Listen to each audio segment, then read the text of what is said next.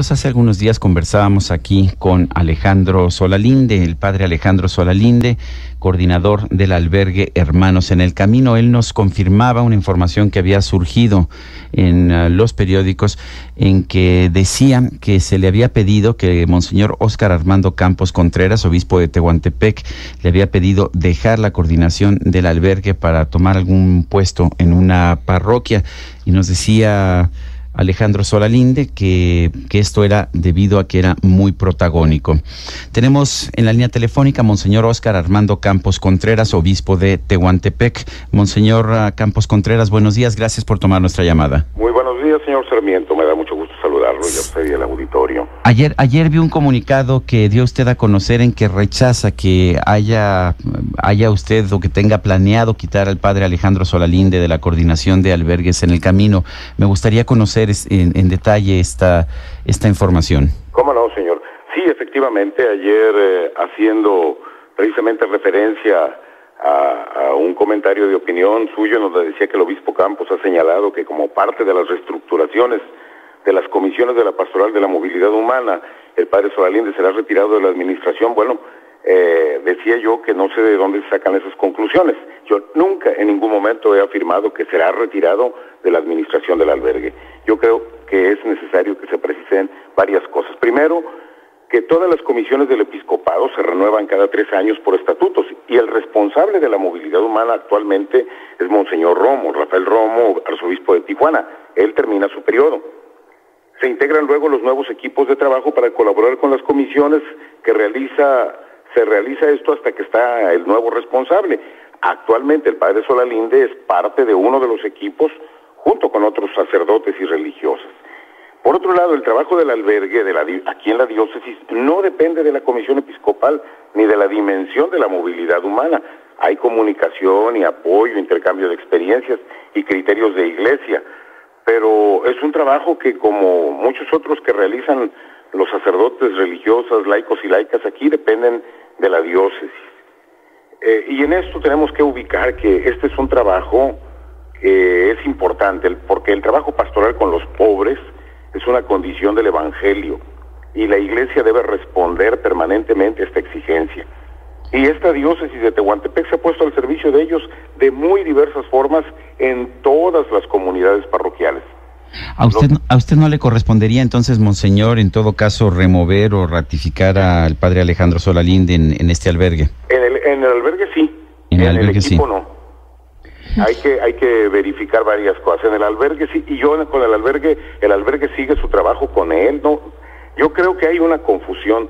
Eh, eso es lo que tiene que quedar claro. Sí, no bueno, yo si creo a que no le, mi, por- mi- fuente claramente es una entrevista que se, que se le hizo aquí públicamente Claro. en radio al padre Alejandro Solalinde. El, ah, ¿Piensa usted que, que quedó mal informado, que obtuvo una mala impresión Pues de una no conversación sé qué con lo usted? que haya pasado. De hecho, el, el trabajo del padre Solalinde nunca ha sido devaluado. Él, junto con otros grupos, lo reconozco y lo reconocemos todos, ha puesto en la agenda social y política el tema de los migrantes para promover las leyes más justas y un trato más humanitario hacia los hermanos que atraviesan el territorio. Pero eh, también, y también él mismo sabe que desde la primera vez que me informó que sufría amenazas, en declaración escrita y publicada en la diócesis desde el 2010, solicité el apoyo a su trabajo y el respeto a su integridad pastoral personal.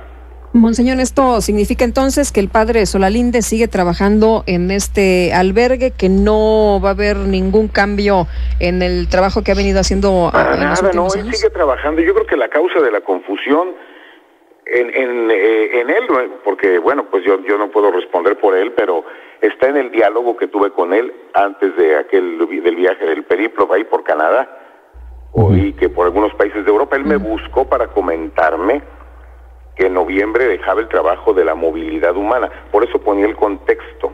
El trabajo de la movilidad humana es un trabajo que está que está ya pues realizándose eh, eh, permanentemente también de parte del episcopado con equipos. Él en noviembre, como todo el equipo, termina su función y me preguntó que si tenía pensado algún trabajo para él. Le respondí que lo único que... Él vino a, a mí, conmigo, yo ni siquiera lo mandé llamar. Él me preguntó y que si tenía pensado, le dije, bueno, pues lo único que tiene la Dios son las parroquias, piensa en alguna y dentro de ellas hay actividades, le propuse que quedes adscrito. ¿Para qué? Pues para que quede, eh, eh, ordinariamente nunca digo, escoge una parroquia. Eso es, eh, no es para que quedes de párroco, porque... Él nos decía, Monseñor, él nos decía, y aquí está, y por ahí debe estar la grabación para, para mostrárselo, él nos decía que, que se había tomado esta determinación o que usted había tomado esta determinación porque era demasiado protagonista. Bueno, eso es lo que él decía. Eso es ya pues su interpretación y todo, ¿verdad? Pues Aquí lo importante es que usted no lo está removiendo, no... Yo no lo estoy removiendo, yo lo único que le decía es, es, eh, es importante que estés adscrito que, porque de esa manera, esta es una figura jurídica de quedar adscrito para que se tenga el respaldo parroquial, eh, para que el sacerdote esté con una referencia comunitaria, que no es no significa que se tenga que dejar el albergue. Tengo también otro sacerdote que se dedica a todos los trabajos sociales de aquí de la vida diocesana.